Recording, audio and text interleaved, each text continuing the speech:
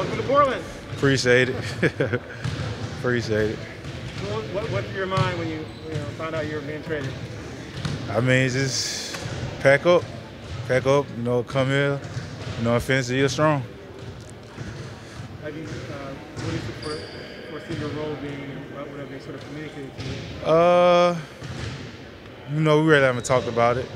You know, but just come in. You know, uh, be a good teammate, play hard.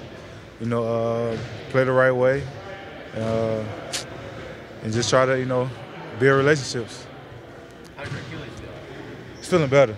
It's feeling better. Uh, it's been lingering. Uh, you know, hopefully, you know, it can feel better. I can play.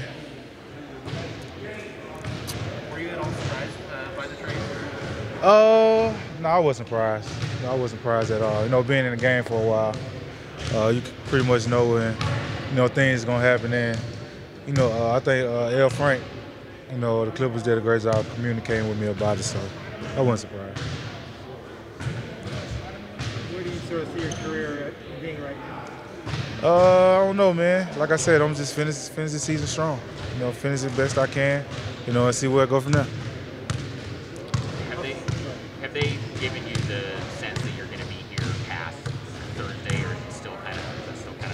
I mean, it's just up in there.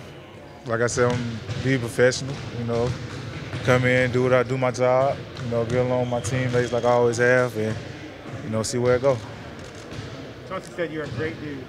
a little quiet, but uh, a lot of great things to say about it. How, how would you describe your personality as a player? Uh, I mean, I got a great sense of humor, I think.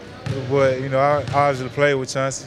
You know, uh, my first three, well, first two, my second two years.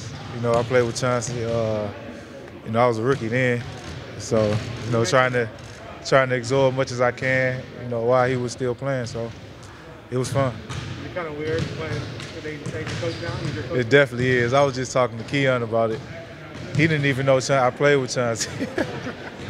He was kind of like at the end of his career by that point. I mean, yeah, Keon- Keon but wasn't still. born when That's what I was saying, but still, Keon was like 19 years, 20 years old or something like that.